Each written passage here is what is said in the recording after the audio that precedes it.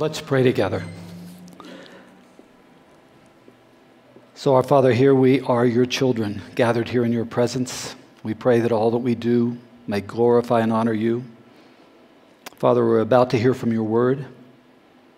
I pray that I will be faithful to it. And where I am, Father, may your Holy Spirit anoint it and use your word to help us to become more and more conformed to the image of your Son, in whose name we pray, even Jesus Christ. Amen. Take a seat. Good morning, uh, my sisters and brothers in Christ. You probably wonder who on earth I am and what I'm doing here. I'm a, a, part of this church, but for most of my life, I've been a pastor in, in other places. And I'm thankful to Pastor Ken. Pastor Ken, thank you for giving me this privilege to open God's Word today, especially this particular text. I think you probably asked me because you know that a part of my journey since I was really young has been spot on with the message of the book of Ephesians that we are focusing on this entire fall. So, and I want you to be on that journey with me, okay? My, my journey started when I was just 13 years old and my family had moved from the metropolis of Beckley, West Virginia. To the equal metropolis of Bluefield, West Virginia. It was a, a, beautiful town in the Appalachian Mountains. And like Colorado Springs, it had been awarded as one of the all American cities here in the United States by Time magazine and by the National Civic League. And yet, in spite of that, it was a very racially divided town. Now, we had a beautiful downtown at Bluefield. So one Saturday, I decided I wanted to go downtown. I was the only one home, so I had to go on my own. But for me to get to town, I went from the white part of town, you can see where I would live. I had to go through, necessarily through the black part of town to be able to get to downtown. So I started walking. And I remember as I came to that part, uh, where I crossed over into the more color filled part of our town. I began praying. I, I prayed that God would not let any of the residents there be out and about because I was terrified. It's just the way we are. I had never had a single relationship with a person of color, and that creates all sorts of fear. So I was hoping I wouldn't have to have any encounters. But I'll tell you, I came around one corner, and suddenly my nightmare was fulfilled there were three African American men sitting there laughing, doing all sorts of things. They probably saw the terror in my face. And one of them turned to me and he said, uh, Young fella, do I have some advice for you? I think you should just sit down right now with us and have a nice, cool bottle of pop. And I think you'll learn something. I think you'll learn that we're just folks. So I did. I sat down and I did. I had a nice, cool bottle of pop and I learned. And I learned that they were far more than just folks. Who I met that day were members of the Scott Street Baptist Church in Bluefield, West Virginia. And I tell you, that day, I think it was the beginning of seeing that my view of people was wrong and that my view of what God is doing in this world was far too small. So you see it, I hope. There were walls between me and those men. They were constructed by my own fear, by my own lack of understanding, walls that just began to come down that day, and it was because they loved me enough to enter into my life. They cared for me enough as a younger brother to enter into a relationship and I'll tell you, I, I, now look back on that day. You can tell it's not the first time I've told this story. I look back on that day and I know that the step I took that day was not just a step toward downtown, it was a step into the eternal plan of God. A plan of God that was established, Paul will say in the beginning of Ephesians, before the creation of the world. A plan that God has had to adopt a family into this world, an eternal family with individuals made up of people from every Revelation 7 9 tribe, language, and nation, every people group, every language group, every national group, But for that mission of God to become a reality in this fractured world, some walls have to be seen. Some walls have to be called out, and some walls have to be taken down. Which, as I read through the book of Ephesians, is what the Apostle Paul sought to do when he wrote this book. It was to a church that he knew. He had been the one who founded it, and he loved them. So I want to talk to you today about walls. You know that many walls are barriers, right? They try to keep some people out that we don't want in. Sometimes they try to hold some people in who might want to get out. One of the most famous of those barrier walls in our history is one that I have stood on both sides of when I lived in Germany. Uh, it was the Berlin Wall. So I'm going to show you a picture of this just to try to imagine it. It was built after World War II. It was built to keep East Germans in and mostly to keep Westerners out unless we brought enough US dollars and German marks. The, the Berlin Wall was almost 27 miles long. It was protected with soldiers, barbed wire, attack dogs, and over 55,000 landmines. So those were barriers, right? But other walls can be blessings because they can provide places of, of safety and belonging. So I'm going to show you another picture. This is of Chris in my home. My wife Chris is on the front row here. Yes, it has walls, but I'm just telling you, when it is 95 degrees plus outside in the day, it is wonderful to come out of the heat. Can I have a witness to that? And when the fierce winds arise, when the rain pours down, when the hailstorms pound us, it is a beautiful place of shelter in the time of storm. But you see here that, that the walls that are there have doors. So it can be a place, if we open them, of welcome of relationship building. I mean, if we're hospitable.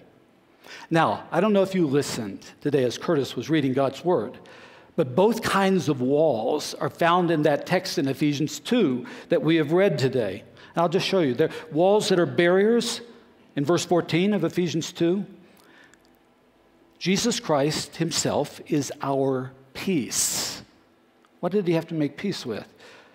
Who has made the two groups, so there were walls between these groups, two groups, one, and has destroyed the barrier, the dividing wall of hostility. So, walls that are barriers, but there are also new walls that are being constructed, walls of belonging. And this is what he writes in verses 19 to 21. You are all members of God's household with Jesus Christ Himself as the chief cornerstone. In Him, this whole building is joined together. So let me tell you now what this sermon is about, in case I'm not clear enough. God has torn down walls. He has torn down walls between people and Himself, and between people and people. And in tearing down those walls, he has adopted each believer in Jesus into one eternal family. He is now at work locating households, local households of this global, uh, I call it unexpected family. Uh, not unexpected to God. This was his eternal plan, but it's unexpected as the world looks at actually who's in it. He is establishing households in which barriers are torn down belonging walls are built, and then he places us into geographic locations, like in Ephesus in the first century. And I think, like Colorado Springs, with this purpose to glorify him. And we do it through our unity and through our way of life together. So let's, let's think about walls that are barriers. Jesus, when he came, had to tear down some walls. And to see that, you have to go all the way back to the very beginning of Ephesians, Ephesians chapter 1. And as you see that, you've got to think that uh, that church in Ephesus that had been founded that he's writing to, it was in one of the largest cities in the world, the third largest city in the Roman Empire. It was located, and I've been there several times, on what is the west coast of Turkey. It was a thriving business city. There are just ruins there now, but I'll tell you, then there was a, small minority of people, of Jewish people who were there, but there were also many Gentile people who were in that church as well. They were coming to faith, Jews and Gentiles. And it had started, you can read it in Acts 18 and 19, when Paul himself had gone there to preach. So most of the people in that church were not, were not Jewish, they were Gentiles like most of us. Others were Jewish like Paul. Most of the people of wealth and influence in that city and probably in that church. They were almost certainly Gentiles. But in the church, the structures, the culture, the ways of worship, the music they sang, that was very Jewish. What seems to have happened in that church was that there were people in that church who loved Jesus, but they didn't want to be in the same church together. Let them have their own church. So Paul begins his letters, letter to the Ephesians by essentially saying, as I read it, you've got to get over this. This isn't your church, this is God's church. And what he has done, God chose us. Who's in the us? God chose us in Jesus Christ. He did it before the creation of the world. He chose us to be holy and blameless in his sight all those in the us who come to him. He adopts, he says, into his family with God as our Father. And together, when we come together, he will say, and he says it often in Ephesians, we can be to the praise of his glory. So, really, the million dollar question is who is in the us? Who is in this adopted family of God? Because there were clearly people in that church who were in God's us, but they didn't want to have in their us. Are you with me here? so there were walls that had to come down. Well, what kinds of walls? Well, there are two kinds of barrier walls that, that Paul addresses in the letter. One, a wall between God and people. You say, it kind of goes back to this phrase that those who come into the family of God are going to be holy and blameless in his sight. I mean, have you ever looked in the mirror and thought, how can I be that? See, that, this has been a big issue. How can the only one who is holy and blameless, namely God himself, actually declare that we are holy and blameless? A, a God who has said that sin and evil, all of it, has to be judged and has to be punished, or there will be no justice in this world. You know that if evil proliferates, there can be no justice. How can God say that we are holy and blameless? Do you wonder about that? Yeah. Well, uh, I'm glad. One, one of us. Yeah. Pastor Tim Keller, who just passed away in New York this year, used to formulate this historic Christian way of thinking about it in, to me, a memorable way. He always would say something like this um, um, Now, if I can only remember what he, he said, G- Jesus. Jesus alone lived that life that all of us should be living, holy and blameless, but none of us has. Can I have a witness here? And then the same Jesus was willing to die the death we deserve, but he des- died it in our place so that we don't have to. This is hallelujah stuff. And Paul takes this up in Ephesians chapter 1. He says, verses 6 and 7. We come into this family through Jesus Christ. It is in Christ that we have redemption, and it comes through his blood. Through his blood, we have the forgiveness of sins. Amen. Any hallelujahs here right now? Thank you, Jesus, or, or something. So, the, this wall between God and people is torn down for all who believe in Jesus. So, again, the question who is in the all? I'm going to take you back to verses 11 to 14. We had a sermon on this recently, and this is what we read. Listen to it.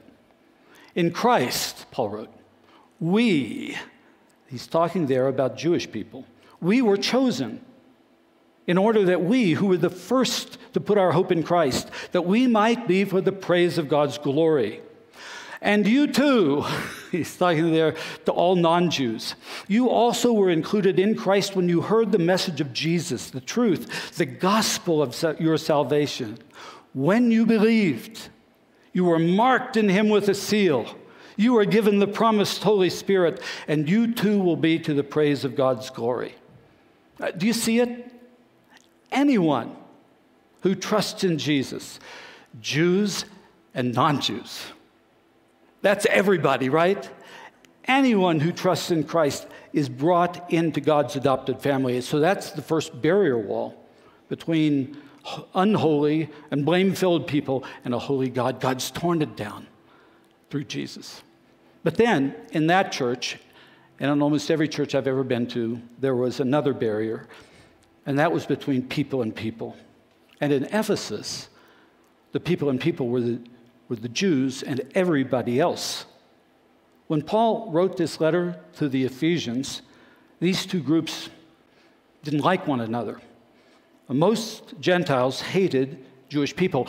The historian Tacitus described the Jews as being the one people group that every other people group hates.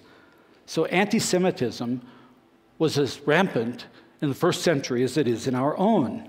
But on the other side, many of the Jewish people hated Gentiles too. They called us unclean and sinful, and sometimes called us dogs.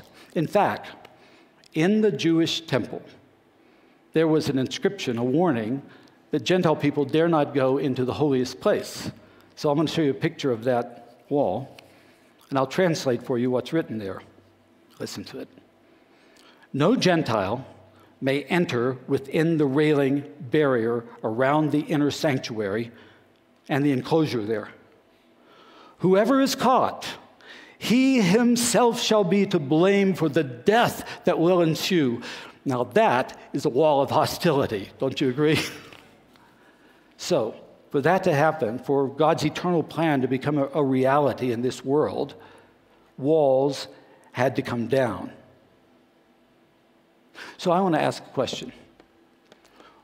What, what kinds of walls among people exist in the world that you and I live in that might keep us, might creep into our church and keep us from becoming what God says is His eternal plan?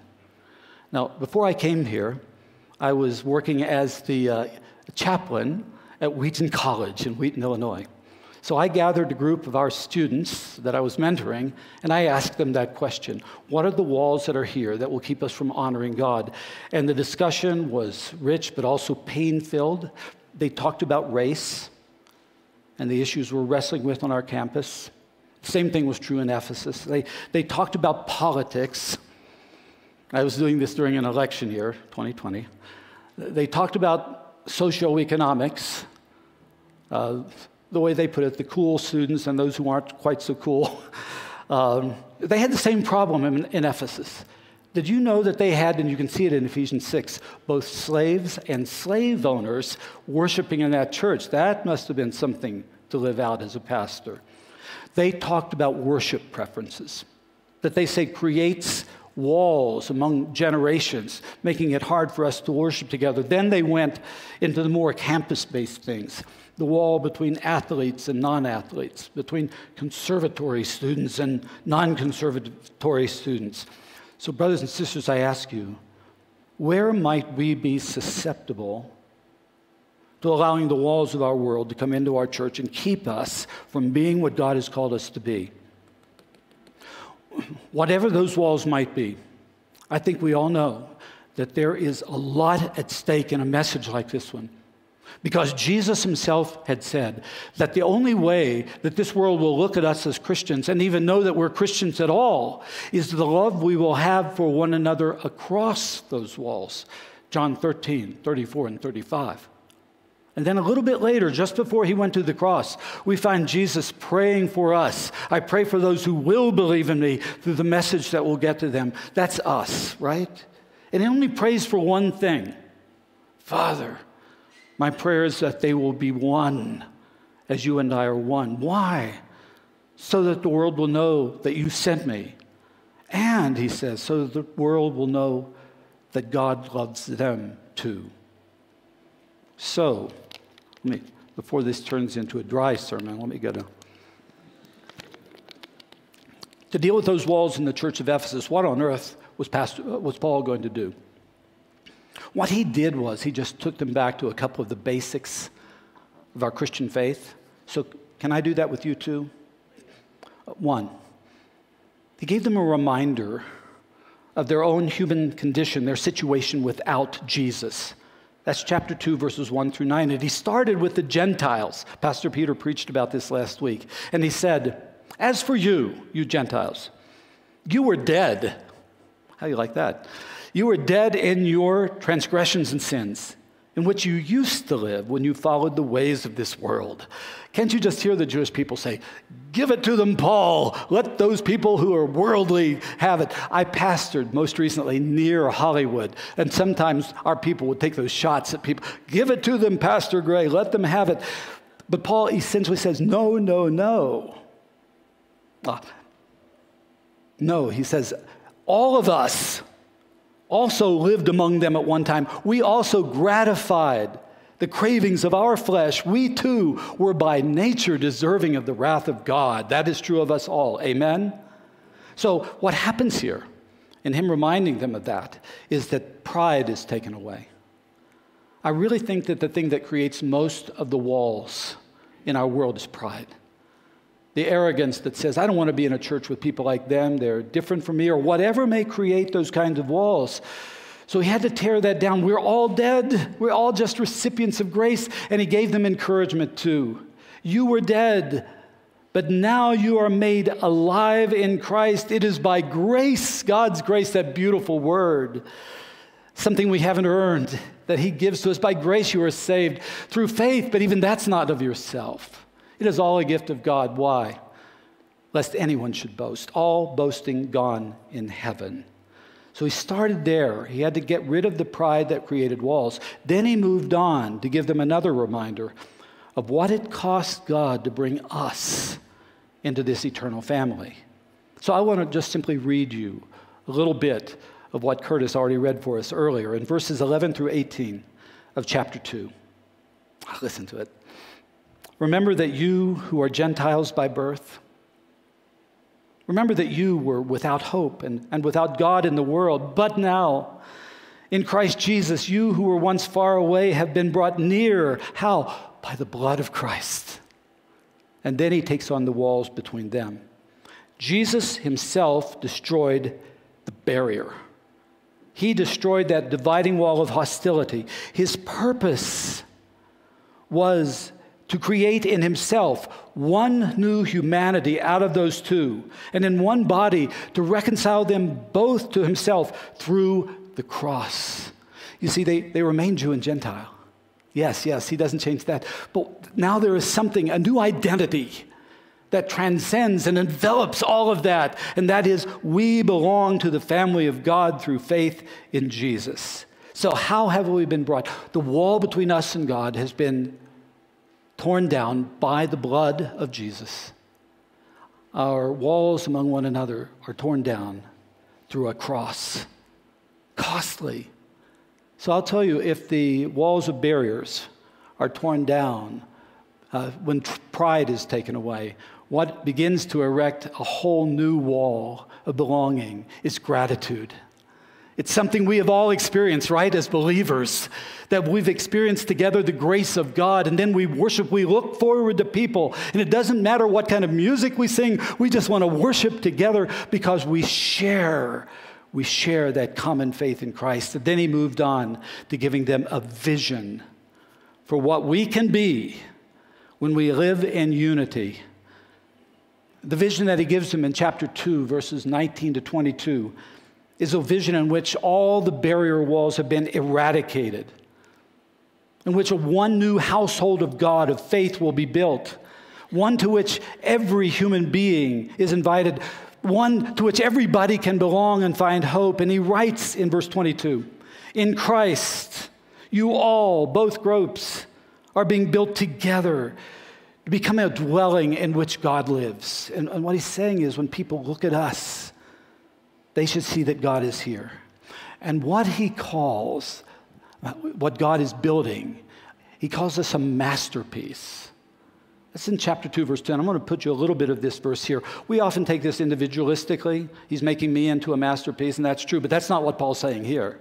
He's saying he's making us together. He's bringing us together to be a masterpiece. The, the word that, that, that is, you have that verse up there. We are God's, and my version says, handiwork. Uh, the Greek word that Paul used was poema. Uh, it's a word for poem. And, and really, it's saying we together become his work of art. Uh, when, when people see us, they see the kind of God who makes this sort of thing. We were created in Christ Jesus, not by our works, but to do good works. So I've been thinking, what does this look like? What does this look like? So my wife, Chris, is a quilter. Maybe some of you are. But she doesn't just take uh, patterns and creates. she has concepts and begins just making them. Sometimes when she makes her quilt, she has a lot of scraps. Any, any quilters here, a lot of scraps that are there? I'll show you some scraps. Here, here. What would you, non quilters, you know what I would do with those scraps? I'd throw them into the garbage. She does not.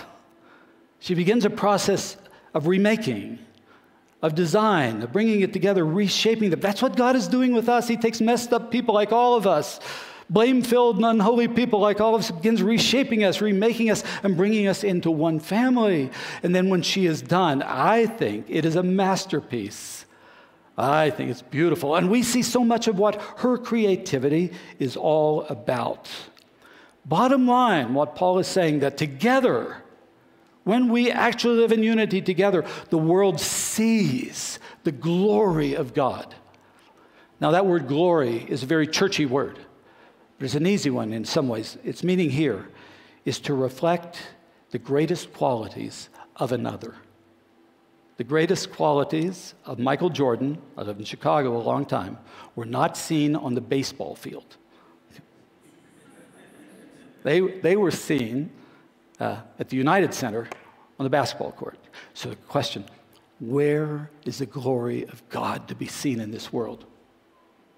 Paul takes it up at the end of chapter 2, and this is what he says To him, to the one who is able to do immeasurably more than we could ever ask or even imagine. To him be glory. Where? Where?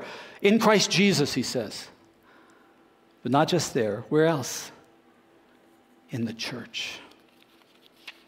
You see, when people see us and who comes together into this family and what God redeeming us and remaking us and changing us, they see what He is like.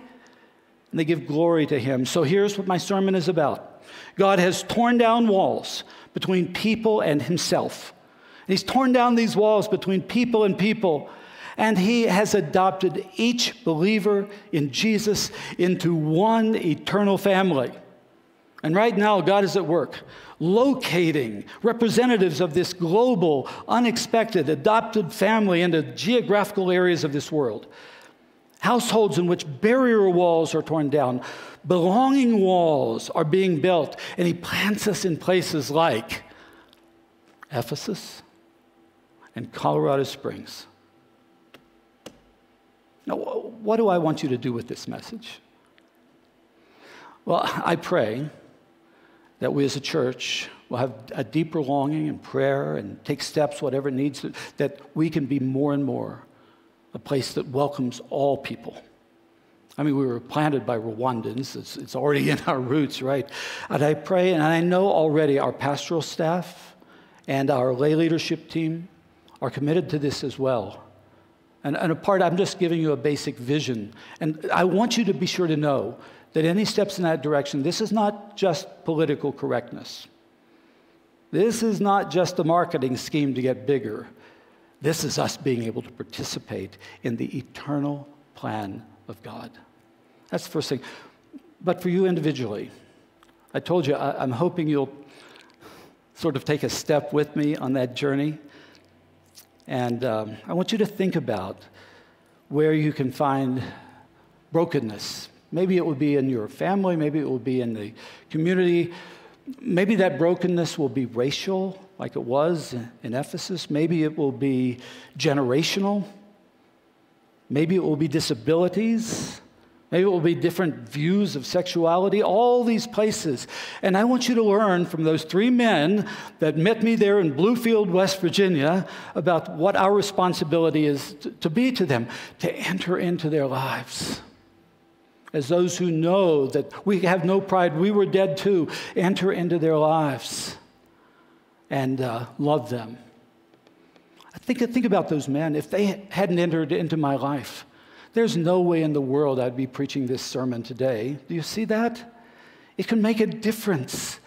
So, as you think about those places, I'd like you to identify where is there a wall in our world that God might be able to use me to simply enter in and show them the love of Jesus. Now, my time is, is long gone, but let me give you a last word. Together, we can reflect God's glory to this fractured world. Put more simply, people in this world should be able to look at church gatherings like ours and say something like this Wow, there must be a God. Because look, look at those people who are actually worshiping together. They're black and white. They are red and blue. Can that be? They are young and old. They are men and women actually respecting one another, worshiping God together, serving in the community together. And maybe they will say, I, I see some people there who look a little bit like me. Maybe two. I can belong. Any step you take in that direction,